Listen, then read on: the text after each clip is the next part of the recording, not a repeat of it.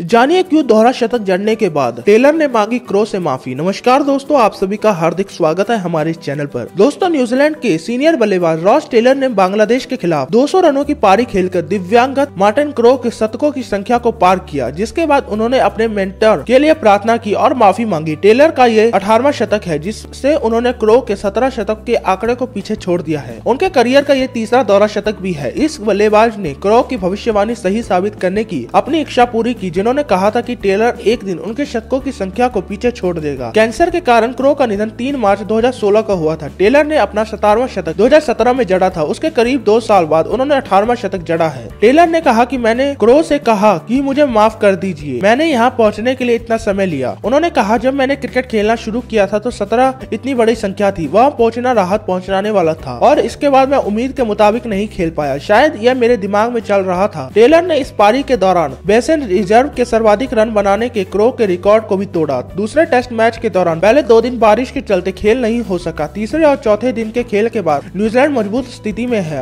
बांग्लादेश के पहली पारी में दो रन पर सिमट गई न्यूजीलैंड ने पहली पारी में छह विकेट पर चार रन पर घोषित कर दी जवाब में बांग्लादेश ने तीन विकेट पर अस्सी रन बना लिए बांग्लादेश अभी भी एक रन पीछे है दोस्तों अगर आपको हमारी यह जानकारी पसंद आए तो कमेंट करके हमें जरूर बताए और हमारे इस वीडियो को लाइक और शेयर जरूर कीजिए और आगे भी ऐसी खबरें देखने के लिए हमारे चैनल चैनल को सब्सक्राइब करना ना भूलें क्योंकि हम हर रोज ऐसी खबरें आपके लिए लाते रहते हैं धन्यवाद